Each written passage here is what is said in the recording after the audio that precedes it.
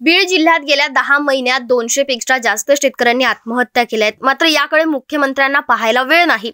अतिवृष्टीची मदत जाहीर झाली आहे. मात्र अद्याप शेतकऱ्यांना काहीच मिळालेलं नाही.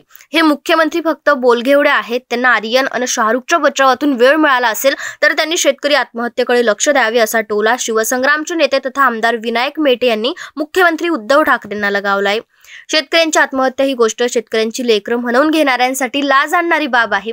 प्रशासनानं किती आत्महत्याग्रस्त शेतकऱ्यांच्या घरी जाऊन चौकशी केली असा सवाल देखील मेटे यांनी केलाय. शेतकऱ्यांच्या प्रश्नासाठी दिवाळीनंतर शिवसंग्राम रस्त्यावर उतरणार आहे. हिवाळी अधिवेशन चालू देणार नाही असा इशारा देखील मेटे यांनी दिलाय. केंद्रीय सूक्ष्म व लघु उद्योग मंत्री नारायण राणे यांनी राज्यात उद्योगधंदे याकडे लक्ष द्यावे. नुसते उद्योग करू नये शिवसेनेला लक्ष न करता भुंकणे बंद करावे. ते फक्त शिवसेनेवर भुंकण्यासाठी आहेत अशी टीका शिवसेनेचे आमदार संजय गायकवाड यांनी पत्रकार परिषदेत बुलढाण्यात केली आहे. केंद्रीय मंत्री नारायण राणे सतत आपल्या वक्तव्यांमुळे चर्चेत असतात. शिवसेना आणि नारायण राणे यांच्यातील वाद काही नवीन नाहीये. तर काहीच दिवसांपूर्वी राणे यांनी मुख्यमंत्र्यांवर टीका केली होती आणि त्याला प्रत्युत्तर देताना आमदार संजय गायकवाड गायकवाड यांनी राणे यांना घरात घुसून मारण्याचं वादग्रस्त विधान केलं होतं.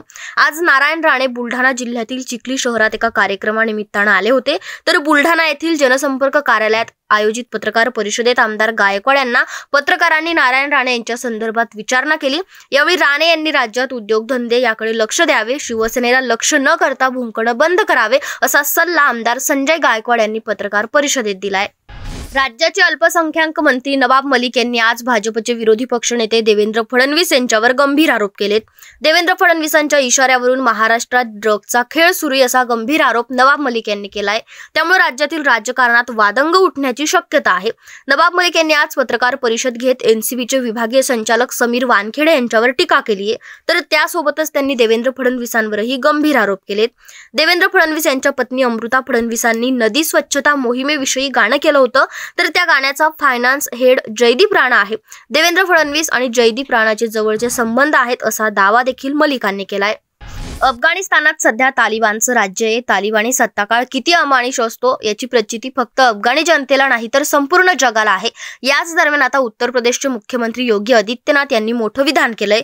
त्यांनी म्हटलंय की जर तालिबानने भारताकडे वाकडी नजर जरी करण्याची हिंमत केली तर अफगाणिस्तानला एअर स्ट्राईकचा सामना करावा लागेल. लखनौमध्ये सामाजिक प्रतिनिधी संमेलनात संबोधित करताना त्यांनी हे विधान केलंय. पाकिस्तान आणि अफगाणिस्तान तालिबानच्या सत्तेमुळे त्रासलेले आहेत. मात्र पंतप्रधान नरेंद्र मोदींच्या नेतृत्वामध्ये कोणताच देश भारताकडे वाकड्या नजरेने पाहण्याची हिंमत करू शकत नाही असं देखील ते म्हणाले. भारतात गेल्या चोवीस तासात कोरोना रुग्णांची संख्या ही बारा हजार पाचशे चौदाने वाढली आहे. तर बारा हजार सातशे अठरा रुग्ण हे बरे झालेत. मात्र यात दोनशे एक्कावन्न रुग्णांना आपला प्राण गमवावा लागलाय. तर दुसरीकडे राज्यात गेल्या चोवीस तासात वीस कोरोनाबाधित रुग्णांचा मृत्यू झालाय. तर सध्या राज्यातील मृत्यूदर हा दोन पूर्णांक बारा टक्के एवढा आहे. तर राज्यात काल एक हजार तीनशे नव्याण्णव रुग्ण बरे होऊन घरी परतलेत. तर यामुळे राज्यातील रुग्ण बरं होण्याचं प्रमाण आता सत्त्याण्णव पूर्णांक सत्तावन्न टक्के एवढं झालंय.